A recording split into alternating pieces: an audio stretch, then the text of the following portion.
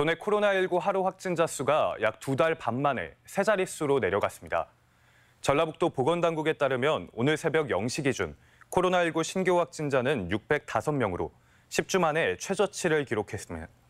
사망자는 4명이 늘어 코로나19로 인한 누적 사망자는 981명으로 집계됐습니다.